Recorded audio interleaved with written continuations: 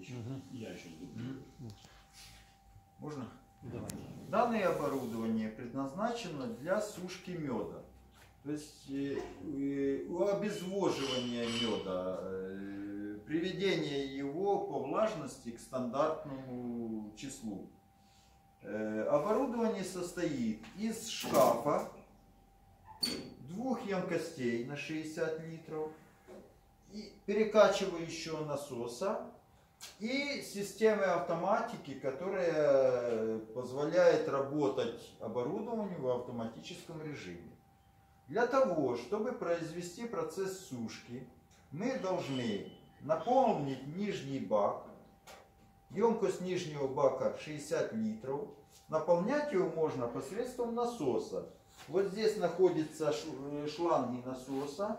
И если мы закрываем автоматическую перекачку и открываем кран э, закачки емкости, то вот этот шланг мы опускаем в вашу емкость и закачиваем 60 литров в верхний бак, то есть в нижний бак. В нижний бак мы закачали.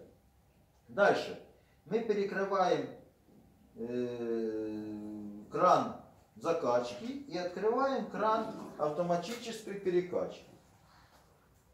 В верхнем баке у нас стоит э, поплавочный выключатель, который при э, минимальном уровне включает насос, и теперь насос будет перекачивать из нижнего бака, насос перекачает в верхний бак весь продукт. Э, Поскольку емкость верхнего бака и нижнего бака одинакова, то э, если мы набираем э, 60 литров в нижний бак, перекачанный верхний бак э, перелива не будет. Мы перекачали продукт в верхний бак. Дальше, из верхнего бака продукт э, мелкой, э, мелкими порциями постепенно. Вот регулировочный кран. Его нужно настраивать на минимальную подачу тонкой струей. Продукт подается вниз, вовнутрь шкафа. Внутри шкафа у нас э, э, есть 7 поддонов. Вот они сейчас с водой. На воде мы демонстрируем работу всего прибора.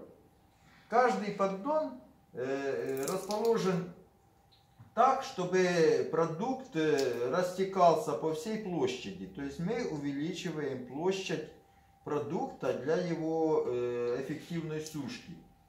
В каждом поддончике есть отверстия, которые при, когда продукт займет всю площадь, э, мед начнет переливаться через отверстие вниз на следующий поддон. На следующем поддоне точно так же расположен, э, рас- расположено отверстие, которое будет работать аналогично первому. Э, Набирается мед, достигает э, уровня перетекания и стекает в следующий поддон. Итак, 7 поддончиков подряд будет медленно-медленно продукт перетекать из одного поддона в другой. И пока не опустится до нижнего. С нижнего поддона посредством, там есть такая э, воронка в отверстии, перетекает в нижний бак. При этом, при длительном перетекании, каждый поддон обдувается струей теплого воздуха.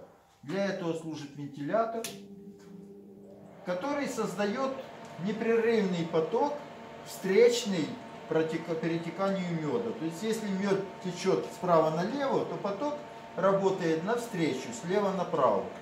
И вентилятор непрерывно будет сушить, высушивать продукт до его готовности.